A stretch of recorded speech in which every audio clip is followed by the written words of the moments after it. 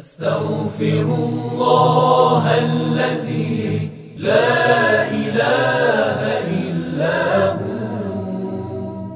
الرحمن الرحيم. الرحمن الرحيم. الحي القيوم.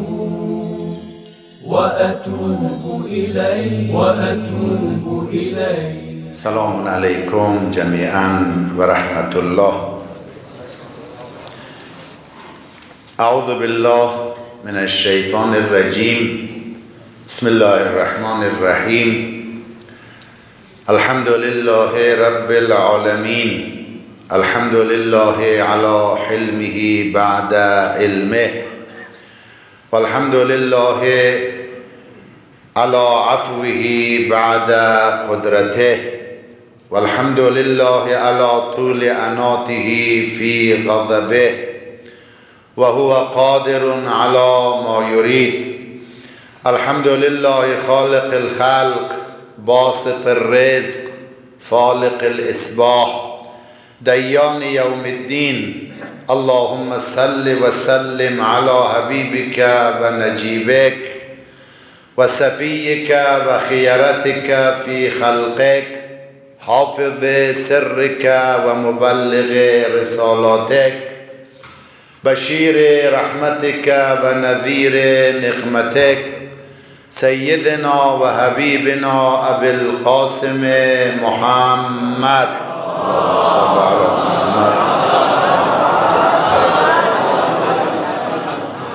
اللهم صل على جميع الأنبياء والمرسلين وصل على جميع الشهداء والصالحين وصل على أئمة المسلمين وهماة المستضعفين وهداة المسلمين. عباد الله أوصيكم ونفسي بتقوى الله.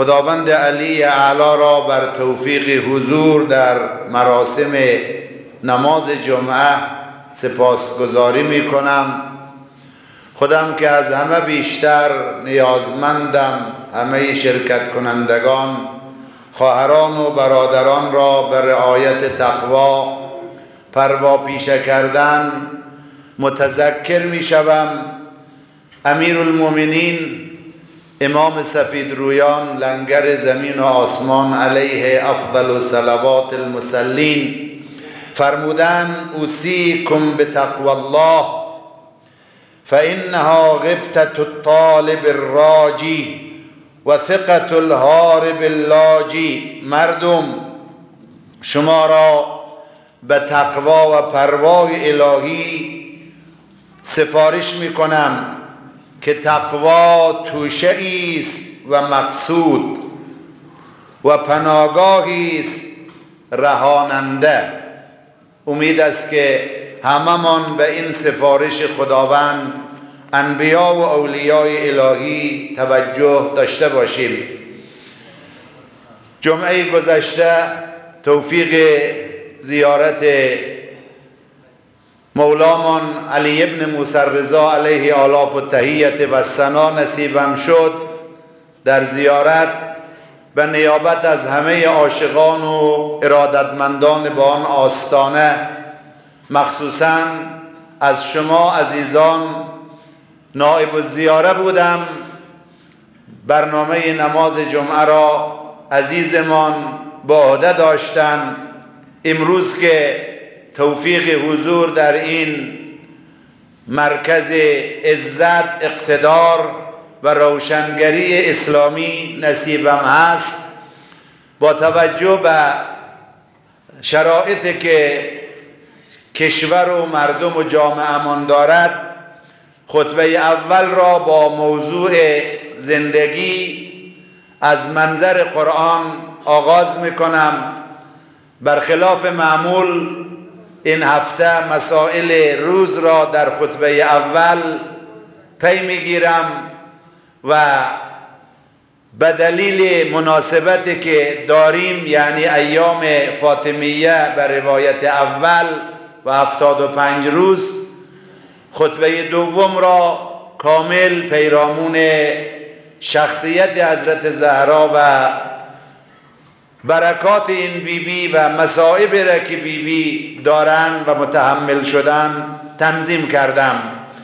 اما بحث از خطبه اول و موضوع زندگی. یکی از موضوعاتی که در قرآن فراوان آیه داریم پیرامونش مسئله حیات است. جالب است. شما مهمانان خداوند را در این فضای نورانی و معطر دعوت کنم به شنیدن آیاتی که خداوند در قرآن پیرامون زندگی آورده. و هدفم از این بحث این است که ما به عنوان پیروان قرآن لازم است با دل دادن به قرآن و فهمیدن قرآن و اینکه زندگیمان بر اساس قرآن باشد زندگی مورد پسند خداوند و مورد تأیید پیامبر و اهل بیت و تربیت شدگان پیامبر را باید داشته باشیم و یقینا در کنار چنین زندگی در ادامه این گونه زندگی آخرت آباد و یقینا با همه امکانات نصیب ما خواهد شد. افتاد و چهار بار در قرآن کلمه حیات در هفتاد و چهار آیه آمده. معلوم میشه که حیات از نظر خداوند مسئله اساسی است. مثلا با هر باری که انسان این واژه را در قرآن می‌خواند یک ذهنیت بصیرتی و معرفت نصیب انسان می شود. می‌دونین یکی از آیاتی که قرآن بحث حیات را مطرح کرده ولکم فی القصاص حیاتون یا اول الالباب لعلکم تتقون.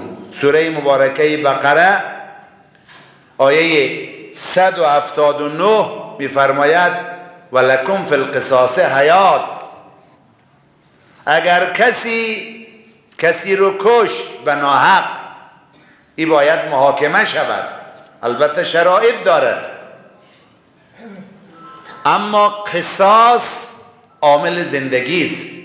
اگر قانون نباشد اگر قصاص نباشد اگر پیگیری نباشد زندگی نیست. هرج و مرج و بیثباتی سراسر زندگی را سایه می افکند و امید به زندگی از انسانها گرفته می شود لذا می فرماید در قصاص زندگی است. بعد میفرماید فکر نکنین که زندگی برای عده خوش است.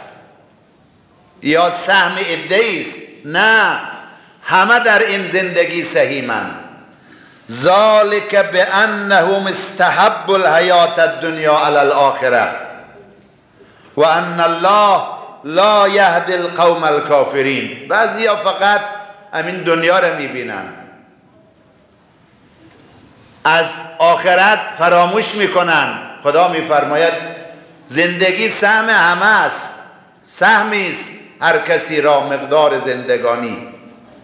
همه ما همه بشر در زندگی سهم دارن. هر کی به دنیا می آید سهم از زندگی دارد. اما باید توجه داشته باشیم نباید زندگی دنیا را بر آخرت ترجیح دهیم. به یک جمع نمیگه به مسلمان نمیگه به هر انسانی این مقوله و این مفهوم را تلقین می‌کند و تفهیم می‌کند و تبیین می‌کند. جای دیگه میفرماید المال و البنون زینت الحیات الدنیا. فرزندان مال ثروت همه امکانات اینها زندگی را زیبا می‌کنه. زینت الحیات دنیا زندگی را خوش می‌کنه. اما والباقیات الصالحات خیر عند ربک ثوابا و خیر عملا. کسانی که کارهای اجتماعی می‌کنن همگان را در برنامه و در کارشان مد نظر دارن خدمات عام المنفعه انجام می‌دهند در تربیت همه تلاش می‌کنن در استراحت و در رفاه همگان برنامه و پروژه دارن. میفرماد این ثواب بیشتر داره. امید بیشتر در زندگی برای انسان ها به وجود می آورد اگر در یک شهری در یک کشوری وقتی خدمات همگانی است برنامه ها همگانی است پروسه های عام المنفعه بیشتر مورد توجه است. تا برنامه های شخصی و خانوادگی میفرماید در اینجا امید به زندگی بیشتر است. پس یکی از موضوعات مهم در قرآن بحث زندگی است. میریم سراغ روایات. در یکی از خطبه ها در خطبه 133 علی علیه السلام میفرماید هر چیزی انسان خسته می کند هر شغلی هر کاری انسانی که همیشه در خانه است گهگاهی خسته میشه. عشق به سفر به سرش می‌زنه. کسی که همیشه سفر میره گاهی از سفر خسته میشه میگه خانه بمانم. فرمود هر چیزی انسان خسته می‌کند و ملول اما از زندگی انسان خسته نمی‌شود. الا الحیات. پس زندگی تعمی دارد که همه به او عشق میورزد. اما گاهی این زندگی تنگ می شود. خستگی آور می شود. کی؟ زمانی که شرایط زندگی اون گونه ای که باید باشد نیست. اون گونه ای که خدا خواسته. اون گونه ای که در قرآن آمده. اون گونه ای که پیامبر به ما یاد داد. وقت زندگی شرایطش نیست. اونجا زندگی بر انسان ها سخت می شود امام صادق علیه السلام فرمودن همون گونه که خداوند زندگی همه موجودات را به آب گره زده و جعلنا من الماء کل شیء حیا. ما انسان ها با آب نیاز داریم حیوانات نیاز داره درخت ها نیاز داره. هر موجودی در روی زمین نیاز به آب داره. فرمود طعم زندگی طعم آب است. یعنی همه باید در زندگی سهیم باشن. چرا این بحث مطرح کردم؟ شرایط ایجاب می‌کنه. ما برای یک زندگی مسالمت آمیز یک زندگی که قرآن ما به ما یاد داده خودمان جامعهمان فرزندانمان نسلمان نسل امروز و آیندهمان را سهیم کنیم و شریک کنیم و آمادگی بگیریم. و الا تغییر به وجود نخواهد آمد.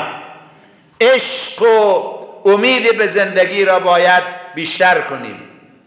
ما برای آبادی کشور برای پیشرفتمان برای تمدنمان باید این فرهنگ را از قرآن یاد بگیریم. فرمود خیر من الحیات ما اذا فقدته ابغضت الحیات.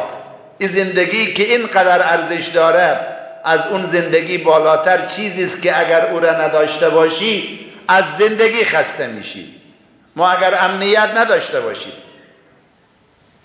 اگر اقتصاد نداشته باشیم اگر محبت و وحدت و سوز و عشق به همدیگه نداشته باشیم این زندگی سرد می شود فرمود که بالاتر از زندگی اون چیزی است که اگر اونها را نداشته باشی زندگی برایت گوارا نیست. مبغوز است. منفور است. بیمعناست.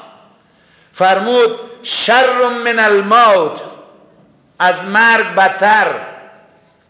ما اذا نزل بک احببت الموت. اون مشکلات است که اگر اونها سراغت بیایه آرزوی مرگ می‌کنی. چرا اطفال ما؟ چرا زنان ما؟ چرا جوانان ما در این شرایط قرار بگیرند به عنوان یک برنامه اجتماعی از فضای نماز جمعه که مظهر مسائل تربیتی و در واقع عرصه کلان تفهیم و تبیین و تعریف اسلام است. از بیان قرآن از آدرس قرآن عرض می کنم بیاییم یک نوع اندیشی را در زندگی دنبال کنیم. از منظر قرآن. همه علما باید تفکرشان مدیریت کنند اهل قلم اهل درس اهل دانشگاه. ببینیم قرآن چه سبکی از زندگی را به ما یاد میده. انشالله در ادامه خطبه هایی که در هفته های آینده اگر حیاتی بود و اگر توفیقی بود بحث را دنبال می‌کنم. علی علیه السلام فرمودن لا حیات الا بالدین. زندگی نیست اگر کسی تدین نداشته باشد. ولا موت الا بجهود الیقین. فرمود مرگ جز با از دست دادنی یقین نیست. و در ادامه فرمود توحید حیات جان انسان است. ما که به خدا باور داریم باید زندگی داشته باشیم. مورد تایید و قبولی خداوند. جالب است که در ملاقات روز چهارشنبه یکی از بخش های مهم سازمان ملل متحد یکی از بخش هایی که جدیدن سازمان ملل متحد و وجود آورده یک معاونت را ایجاد کرده. نماینده عالی سازمان ملل متحد در امور اعتلاف تمدنها و حفظ زیارتگاه ها و در واقع مراکز اعتقادی. خب بر اساس نیاز سازمان ملل یک بخش جدید و یک مدیریتی را به وجود آورده. روز چهارشنبه شانزده برج یعنی دو روز قبل مسئول این بخش آقای میگل موراتینوس همراه خلاصه همکارش یک خانم اجازه گرفتم در نجف به محضر آیت الله سیستانی حضور پیدا کردن و حضرت آیت الله سیستانی حفظه الله این ملاقات را پذیرفتن.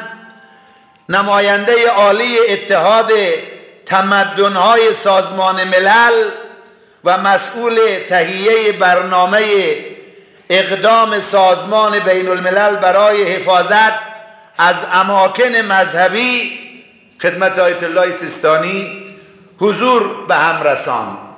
در این صحبت محور صحبت این است که ما باید فرهنگ همزیستی مسالمت آمیز در یک کشور هزاران باور کنار هم زندگی می‌کنه. هزاران عقیده ده ها عقیده. همزیستی مسالمت آمیز نفی خشونت. چرا خشونت باشه؟ نفی نفرت. چرا از همدیگه تنفر داشته باشیم؟ تثبیت ارزش های مشترک. ما خیلی از مشترکات داریم به عنوان انسان. مبتنی بر حقوق و احترام متقابل بین پیروان ادیان و گرایش های فکری را باید ما مدیریت کنیم. اینطوری نیست که هر کس کسی را قبول نداشت باید زندگی او از نظر این آدم قابل تحمل نباشه. آیا خدا این گونه فرموده؟ پیغمبر این گونه زندگی می‌کرد؟ در این صحبت نکته ای که حضرت آیت الله سیستانی مطرح کردن و نماینده این بخش سازمان ملل در گزارش داد به رسانه ها گفت که ما چنین برداشت را از یک رهبر مذهبی در تاریخ معاصر یک نکته ترقی و روبرشت می‌دانیم و فرمودن وظیفه سازمان ملل است. از این شخصیت تمجید کند. و تکریم کند. اون نکته چیست؟ ایشان فرمودن حضرت آیت الله سیستانی در ادامه خاطر نشان کردند من عین عبارت این بزرگوار را بخوانم. فجایعی که بسیار از ملتها و گروه های قومی و اجتماعی در بسیاری از نقاط جهان در نتیجه سرکوب فکری و دینی و سرکوب آزادی های اولیه و نبود عدالت اجتماعی متحمل می شوند اینها نتیجه چیه؟ نقش مهم در ظهور برخ از جنبش های افراطی دارد وقتی حقوق مردم داده نشد وقتی آزاده های مردم در نظر گرفته نشد. وقتی به باورهای مردم به اعتنایی شد نتیجه این سختگیری ها می شود گروه های افراطی بوکو حرام و داعش و امثالهم ما باید یک مدیریت کلان را دنبال بکنیم. جنبش هایی که از خشونت کورکورانه علیه غیر نظامیان بی دفاع استفاده می کنند و به مراکز دینی و اماکن باستانی کسانی حمله می کنند که از نظر فکری و عقیدهی با آنها متفاوت هستند. مگر هر زیارتگاهی را که ما قبول نداشتیم باید تخریب کنیم؟ به چی جوازی؟ بیاییم. عرصه گفتگو آزاد است. عرصه مناظره و مباحثه آزاد است. انسانها را آزادانه دعوت کنیم با استدلال دعوت کنیم. نه با خشونت. متاسفانه دنیا به این مقوله کم توجه دارد. من از باب وظیفه بیانیه‌ای که نماینده عالی سازمان ملل پس از دیدار با آیت الله سیستانی مطرح کردن این جمله بسیار ارزش دارد. این نماینده گفت ایشان یکی از رهبران است که شورای امنیت از او تمجید می کند و از رهبران است که همیشه به اعتدال و حمایت از بشریت فرا می‌خواند. ما می‌خوایم زندگی داشته باشیم که غیر مسلمان ها وقتی نگاه کنن حسرت ببرن.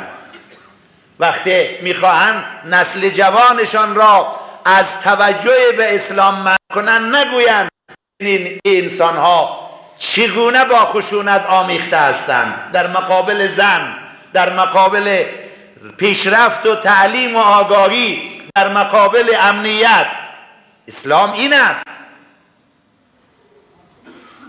الاسلام یعلو ولا یعلا علی. متاسفانه بیتوجهی به این مقوله ها خیلی جامعه اسلامی را آسیب زده. دو نکته را عرض کنم مباحث طولانی است. متاسفانه باز هم در طول یک ماه است شاهد خشونت های زیاد در داخل کشور هستید من در سفر بودم خبر ناگواری که در ایبک در مرکز ولایت سمنگان اتفاق افتاد. در یک مدرسه دینی بیش از 20 نفر دانش آموزان و محصلان به شهادت رسیدن و تعداد زیادی مجروح شدند. خبر دلخراشی بود. حادثه ای که روز شنبه سه شنبه در فاصله چند متری یا چند صد متری مسلا یعنی در سه چهار راهی سیدآباد اتفاق افتاد. تعداد زیادی از خانواده ها بی سرپرست شدند. مردانشان مظلومانه به شهادت رسیدند. و همینطور در خلاصه ولایت ننگرهار در بازار صرافی ها اینها همش عامل نگرانی است. امید زندگی را کم می کند هر جریانی که اینا را به عهده می‌گیره یا به عهده نمی‌گیره اینها را بدانیم جریان است که در مسیر انسانیت نیستند در مسیر قرآن نیستند. هر راهی دارد باید مردم و مسئولین مدیران با همدلی و همفکری با یک طرح جدید در مقابل این خشونت ها و این ناامیدی ها باید برنامه ریزی کنیم و مقاومت کنیم. نکته آخری را که در خطبه دوم لازم می‌دانم و همیشه من دنبال این برنامه ها هستم و خواهم بود عرض کردم باید امارت اسلامی و مسئولین که در اداره مملکت سم دارن نقش دارن با حمایت مردم وضعیت را مدیریت کنن ارتباط را با بیرون نهادینه کنن فعال کنن و در واقع خودشان وارد عرصه های ارتباط با بیرون شوند. نگذارن ملت ما حکومت ما. خلاصه اداره ما به حالت انفعال و بیرون از جریان ها قرار بگیره و جدیدا ما بعضی از صحبت ها و بعضی از مطالب رو میشنویم که باعث امیدواری است. من همیشه عرض کردم چی در داخل اگر بیرون رفتم صحبت داشتم در این سفر یک هفته که مسافر بودم دو جا سخنرانی داشتم. اونجا هم عرض کردم جنگ و ادامه ناامنی و اختلاف رای حل نیست. مقاومت که منجر به یک جنگ جدید شود از نظر ما محکومه. اما مقاومت در بود رسیدن به عدالت وظیفه همه ماست. مقاومت در بود رسیدن به حقوق همه اقشار و یک حاکمیت که همه به او قلبا باور داشته باشد ای را دنبال می‌کنیم و داشتیم و خواهیم داشت. در نشستی که در همین هفته گذشته مشاورین مشاوران امنیتی هند و تاجیکستان و ازبکستان و قزاقستان و قرقزستان و همینطور سفیر ترکمنستان روز سهشنبه در دهلی نو داشتن. یکی از حرفاشان این بود که خاک افغانستان نباید برای پناه دادن آموزش براندازی و برنامه ریزی یا تأمین مالی گروه های تروریستی مورد استفاده قرار بگیره. یک واقعیت از هر نقطه دنیا که معمن باشد برای تروریست ها اونجا او مردم ضرر می‌کنن. و نکته عطف و نکته خوبی که بود ایتر وقتی در دهلی مطرح شد وزارت خارجه امارت اسلامی یک روز بعد یعنی دیروز روز سهشنبه اون اجلاس بود و روز چهارشنبه فاصله افتاد. روز پنجشنبه یک نشری اعلانیه ای را منتشر کرد و در اون اعلانیه از این تر استقبال کرد. و پیشنهاد کرد که در نشست بعدی از ما دعوت کنیم ما هم آمادگی داریم برای اون که با شما هم فکر شیم و هم فکر هستیم. خاک افغانستان باید مخصوص افغانستان باشد. هر حرکتی که به ضرر این ملت و منافع این ملت است باید در این سرزمین اینجا اجازه انجام اون حرکت داده نشود. حرکتی که سودش به جیب یک گروه برود اون حرکت به نفع ملت ما نیست. و ما از این گونه تعاملات حمایت می‌کنیم و از این کشورهای همسایه و سایر کشورهایی که در این عرصه توجه دارند تقاضا می‌کنیم. نشست بعدی که همین مشاوران در ماه می در 2023 در قزاقستان برگزار می‌کنن. باید وظیفهشان هست از مسئولین امارت اسلامی دعوت کنند و از اون طرف مسئولین امارت هم وظیفه دارن. پیشنهاد ملت است انتظار ما است این تعاملات بالا ببرن. مسئله آموزش و درس دخترها را باید حل کنیم. این بحانه ها را باید از دست دیگرها بگیریم. چاره جز یک زندگی با اندیشه و خرد و عاقلانه و مورد تحسین و قبول دنیا را نداریم. اعوذ بالله من الشیطان الرجیم. بسم الله الرحمن الرحیم. والعصر. ان الانسان لفی خسر الا الذين آمنوا وعملوا الصالحات وتواصوا بالحق وتواصوا بالصبر.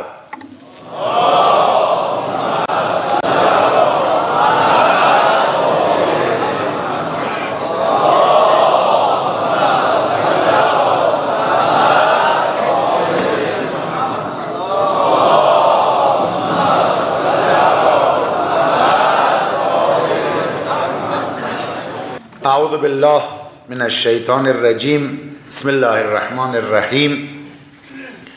الحمد لله. الصلاة والسلام على محمد رسول الله. وعلى علي أمير المؤمنين. وعلى الصديقة الطاهرة. وعلى الحسن والحسين. وعلي بن الحسين. ومحمد بن علي وجعفر بن محمد وموسى بن جعفر وعلي بن موسى ومحمد بن علي وعلي بن محمد والحسن بن علي والحجة الخلف الصالح. ائمة المؤمنین. بار دیگر خودم و همه شما عزیزان را برای آیت تقوا پروا پیشه کردن سفارش می‌کنم. نماز جمعه که با عبارت تلاش کنید برای رسیدن به این ذکر در قرآن معرفی شده اذا نودی للصلاة من یوم الجمعه فسعوا الى ذکر الله ذکر خدا معرفی شده و برای حضور در این ذکر معمور به تلاش و سعی هستیم هم از ثواب بالایی برخوردار است و هم از مسئولیت و رسالت سنگین. بر همین اساس اون چیره که خطیب درک می‌کند به عنوان مدیر این جریان در خطبه های نماز جمعه باید به اونها بپردازد. ایامی که قرار داریم امروز چهاردهم جمادی الاولاست و طبق نقل تاریخ ایام هست که همسر امیر المومنین زهرای مرزیه دختر پیامبر از دنیا می رود و به شکل بسیار غریبانه دفن می شود و به خاک سپرده می شود جمع قلیلی توفیق حضور در تشییع جنازه این مجلله را دارند. با توجه به شخصیتی که زهرا دارد ایجاب می کند ما به این مناسبت طبق یک روایت که هفتاد و پنج روز بعد از پیغمبر زنده بوده و باز روایت بعدی که روایت 95 روز است گوشه های از شخصیت بیبی بی را مطرح کنیم. ضمن اینکه مصیبت بیبی بی برای ما واقعا مصیبت سنگین است. برای تقرب به خدا در این مصیبت با پیامبر با امیر المومنین با فرزندان معصومش با آخرین یادگارش هم ناله خواهیم شد. شناخت زهرا برای رشد جامعه ما یک ضرورت است و یک فرصت. من از این فرصت استفاده کنم. خوب است زهرا را از نظر پیامبر و خانواده پیامبر بشناسیم بگذاریم شناخت تاریخی را به یک زمانی که ممکن است و مناسب است. همسر رسول الله که ما معتقدیم قرآن زنان پیغمبر را امهات مؤمنین معرفی می کند همسر پیامبر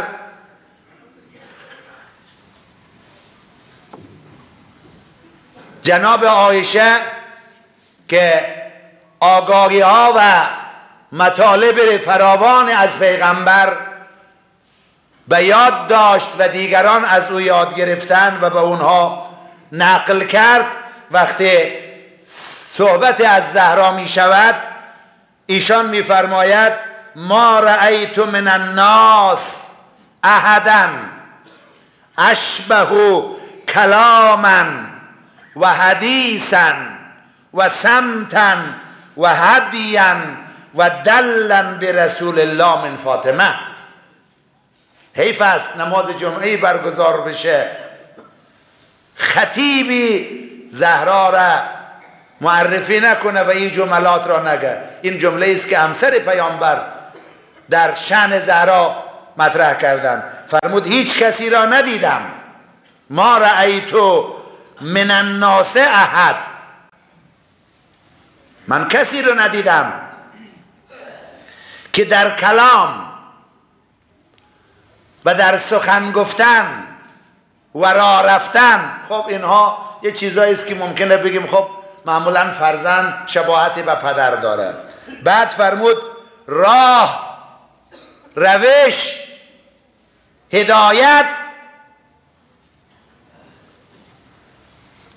سمتن و هدین و دلن برنامه شبهتر از فاطمه به رسول خدا باشد. وقتی از امسر پیغمبر سوال شد که پیغمبر اخلاقش چگونه بود همین همسر رسول الله در جواب فرمود کان خلقه القرآن.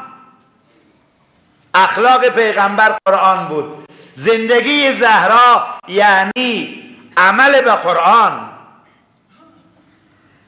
در بود شوهرداری در بود فرزنداری در بود همسایداری در بود هدفمندی و آزادی خواهی. نباید زهرا را بشناسیم؟ اگر می‌خواهیم یک زندگی مورد قبول خدا و پیغمبر داشته باشیم امروز باید در دانشگاه های ما در حوزه های ما در مراکز آموزشی و تربیتی و در خانواده های ما سخن زهرا دنبال شود مسیر دو زهرا دنبال شود. مشی و سلوک زهرا را باید بشناسیم. جای دیگه همین شخصیت یعنی همسر پیامبر فرمودن اقبلت فاطمه تو تمشی. زهرا حرکت کرد به جانب پیغمبر بیاید. تمشی که ان مشیتها مشیت رسول الله. وقتی نگاه کردم دیدم حرکت زهرا حرکت پیغمبر است. بعد وقتی می آید پیغمبر جلو قدم های زهرا بلند میشه. معمول این است که پدر جلو پای فرزند بلند نمیشه. اما پیغمبر جلو پاها و جلو قدم های زهرای مرزیه سلام الله علیها بلند میشه. وقتی سوال می‌کنم یا رسول الله این برخورد این تعامل که با زهرا دارین استثنایی است. و سایر دخترانشان پیغمبر این گونه نبودن. پیغمبر در جواب میفرماید زهرا فرق داره. الحمدلله همه قرآن قبول داریم و در سوره مبارکه اسراء خداوند رفتن پیامبر را به معراج که در اون سفر به بهشتم رفتن در اونجا مطرح کرده. پیغمبر در جواب میفرماید وقتی سوال می‌کنن هم همسر پیامبر هم سائرین وقتی سوال می‌کنن که یا رسول الله رفتار می‌کنی با فاطمه؟ که با هیچ یک از دخترانت این گونه رفتار نکردی پیامبر در جواب میفرماید وقتی در سفر معراج رفتم جبرئیل این به خاطر این است که به تعبیر معروف انبیا یکی از وظایفشان این است به شکل صحبت بکنن که مردم صحبتشان بفهمن همه پیغمبرا اینجوری بودن نحن معاشر الانبیا ما جامعه پیامبران امرنا ان نکلم الناس. وظیفه داریم با مردم به اندازه فهمشان گپ بزنیم. وقتی از پیغمبر سوال میشه یا رسول الله چرا این گونه با فاطمه برخورد می‌کنی؟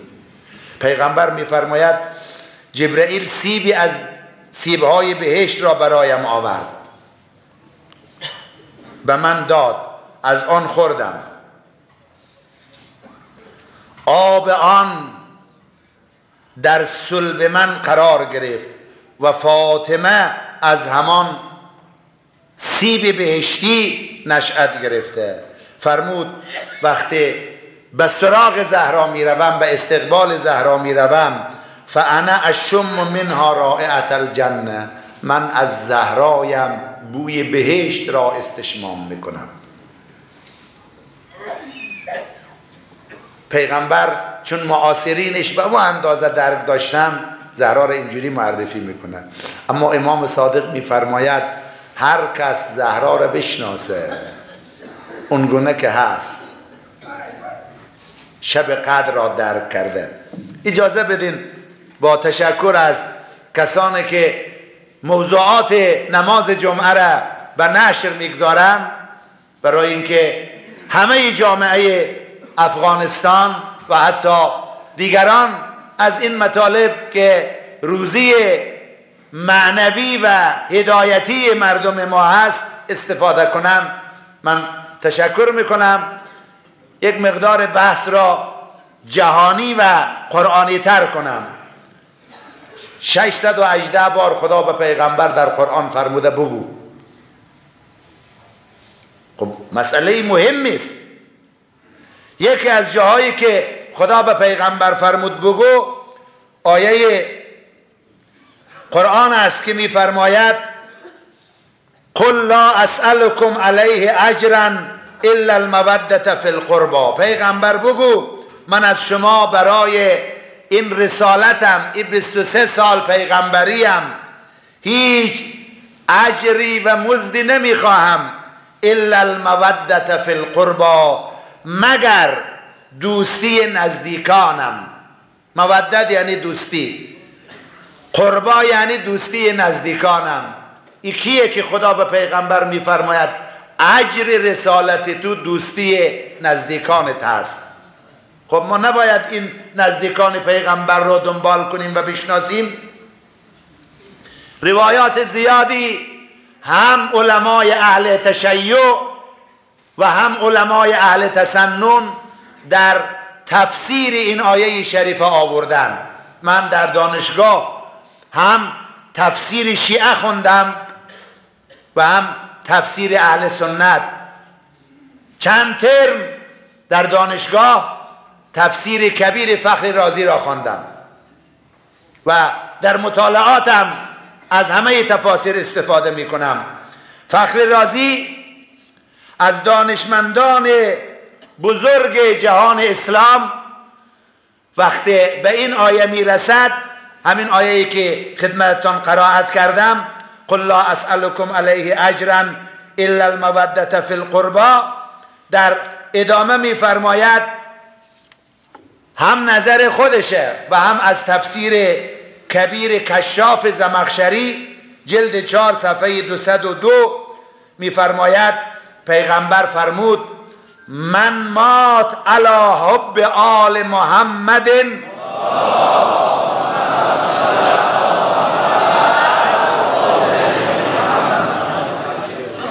کسی که با محبت پیامبر و آل پیامبر بمیرد دقت کنین ما شهیدا. این انسان شهید مرده. بعد طولانی می‌کنه. می‌گوید در مفهوم آل اختلاف کردن بعضی خیشاوندان نزدیک پیامبر را آل می‌دانند. برخ امت پیامبر را آل می‌دانند. در هر صورت دقت کنین. آل شامل آن چهار نفر می شود یکی زهرا خودش می‌گوید. شکی نیست که فاطمه و علی و حسن و حسین محکمترین پیوند را با رسول خدا دارند. کی به اندازه زهرا با پیغمبر پیوند نزدیک داره؟ که پیغمبر وقتی همسرش سوال می‌کنه چرا اینقدر با زهرا محبت می‌کنی؟ با سایر دختران نمی‌کنی؟ میفرماید این اون سیبی که خدا در بهشت توسط جبرئیل به من داد آغازش از اونجاست.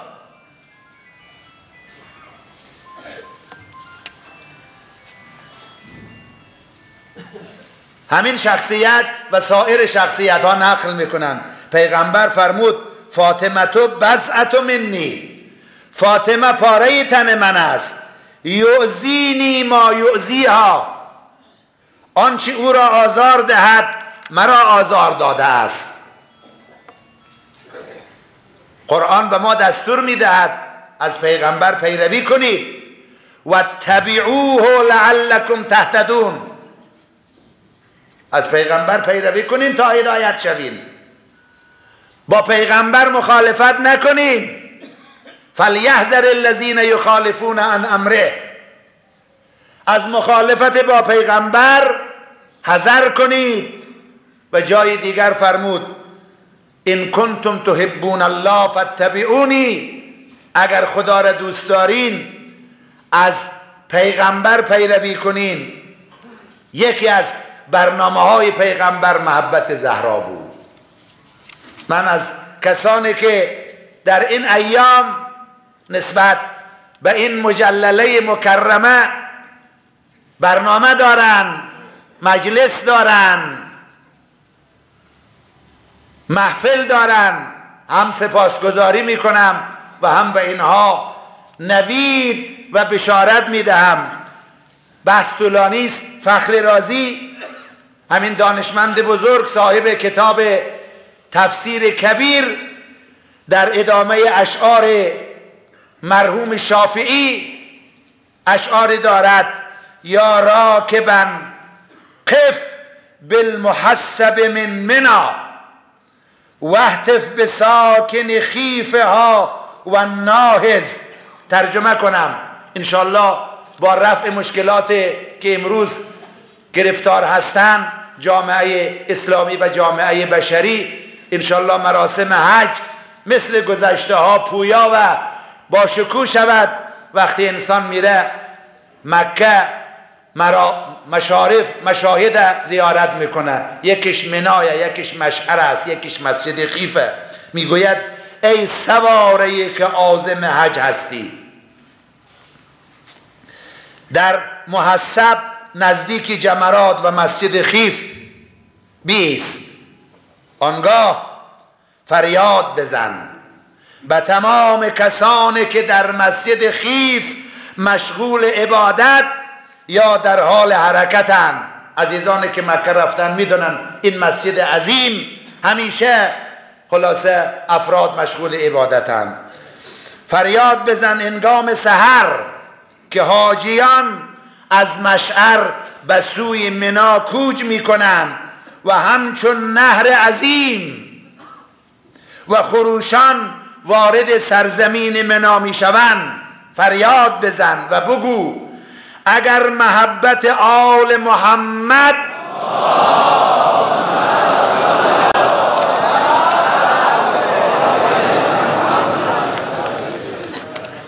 موجب رفض میگردد.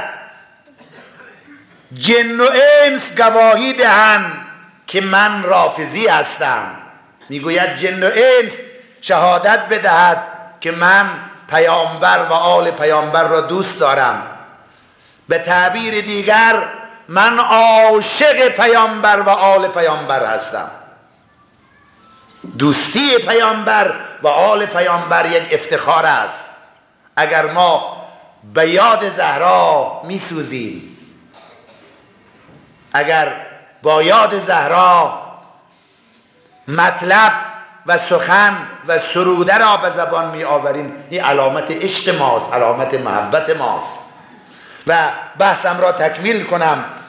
پیغمبر این حدیث همه عزیزان موظفند در فضای مجازی منتقل کنن همه مسلمان ها بهره ببرند. باور کنین هدفم یک خدمت به همه مسلمان ها و به همه بشریت است. پیغمبر فرمود یا سلمان سلمانی که همه مسلمان ها می‌دانن کیه. نگین فر پیغمبر فرمود نگین سلمان فارسی بگین سلمان محمدی. اللهم صل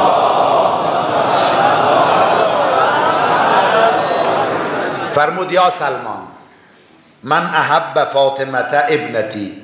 ترجمه کنم سلمان هر کس دخترم فاطمه را دوست دارد. فهو فی الجنت معی. در بهشت با من خواهد بود. فهو فی الجنت معی در بهشت با من خواهد بود.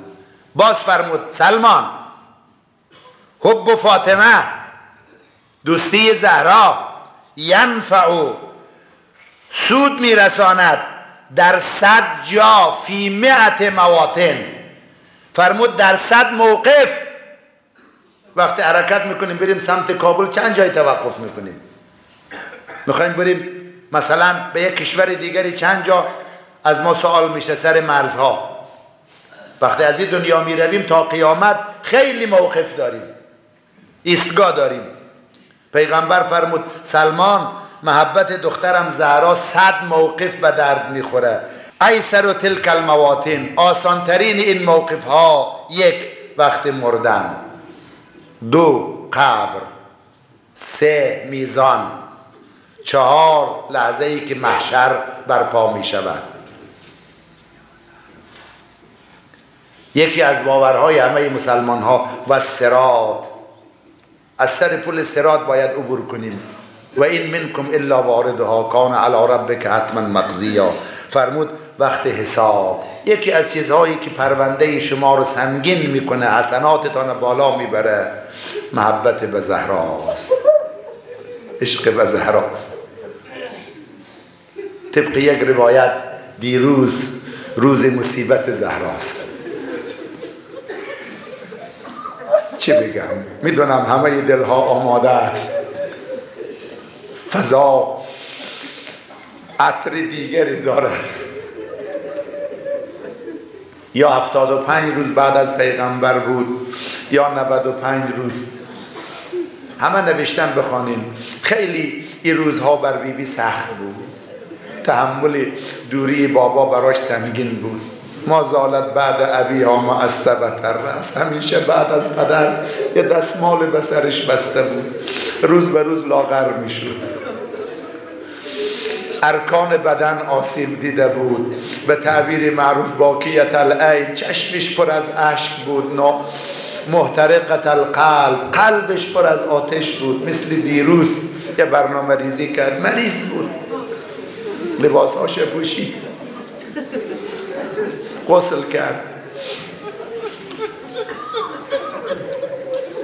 بعضی ها میگن به خادمش فزه گفت فزه بیا این مرهم ها دیدین بعض وقت آدم بدنش مثلا خلاصه نیاز داره مرهم می‌گذاره. میگه با آب این مرهم ها رو بکنیم. بعد میگه وقتی میکندیم بیبی بی یه مقدار اذیت می‌شد دندان هاش رو هم میگذاشت. سوال می‌کردم بیبی بی چرا این کار می‌کنی؟ میفرمود برنامه غسل دادن بر علی آسان میشه. برنامه ریزی کرد. به اسما فرمود اسما من میرم وسط اتاق دراز می‌کشم. بعد بیا صدا بزن اگر جواب دادم دادم اگر ندادم علی را خبر کن. می‌گوید رفت بعد از غسل بعد از آمادگی غذای بچه ها را درست کرد بدن بچه ها را داخل اتاق نزدیک های غروب خوابید. پارچه رو صورتش کشید؟ من نگران بودم. بعد از لحظات رفتم صدا زدم یا فاطمت از زهرا؟ جواب نیامد. صدا زدم مادر حسن حسین جواب نیامد. گفتم نام پیغمبر ببرم شاید پاسخ بده. صدا زدم دختر رسول الله جواب نیامد. آمدم پارچه را برداشتم دیدم زهرا از دنیا رفته. در همین اسنا حسن و حسین وارد خانه شدن. سوال کردن اسما مادرمون کجاست؟ گفتم آقا زاده ها مادرتان خوابیده. زهرا نمونه نظم است انضباط است. فرمود اسمای ساعت ساعت خواب مادر ما نیست بچه ها نگران بودن رنگ از رخسارشان پریده بود. گفتم آقا زاده ها مادرتان غذاتان آماده کرده برین غذاتان بخوریم. صدا زد اسما کی دیدی ما بی مادر؟ دست به غذا بزنیم یک مرتبه امام مجتبا به صورت برادرش امام حسین نگاه کرد. امام حسین به صورت امام مجتبا صدای حسین بلند شد با صدا زد برادر آجر کلا فی الوالده یعنی ما بی مادر شد. رفتن مسجد. امیر المؤمنین خبر کردن. تا آمد به خانه سه مرتبه زمین افتاد. وقتی رسید دم دروازه تا کنار بدن زهرا رسید. فریادش بلند شد. فاطمه جان با من صحبت کن. کلمینی کلمینی. و انا ابن امک علی. خدایا به وجاهت زهرا به مقام زهرا به آبروی زهرا. هوایج آقا و مولای ما صاحب الزمان هوایج همه خدمتگزاران به بشریت و انسانیت و جامعه اسلامی مخصوصا هوایج عزیزانی که در مراسم نماز جمعه حضور با شکوه و مسئولانه دارن هوایج ملتمسین مخصوصا اونهایی که فرزندشان خدایا ناپدید است هوایج همه را برآورده به خیر بگردان. امنیت افغانستان خدایا کامل تأمین بگردان. دشمنان امنیت ما دشمنان پیشرفت ما دشمنان عزت ما خدایا اگر قابل هدایت نیستن نابود و ریشکن بگردان. خدمتگزاران به این سرزمین دلسوزان به آبادی و پیشرفت این مرزبوم خدایا از همه بلیات محافظت بفرما. خدایا و توفیقات مراجع ازام تقلید علمای خدوم و مد نظر بیش از پیش بیافزا ما رو اهل خیر قرار بده. خدایا قدم هامون در مسیر خودت بیش از پیش استوار بگردان. اعوذ بالله من الشیطان الرجیم. بسم الله الرحمن الرحیم. اذا جاء نصر الله والفتح ورأيت الناس يدخلون في دين الله افواجا فسبح بحمد ربك واستغفر انه كان توابا.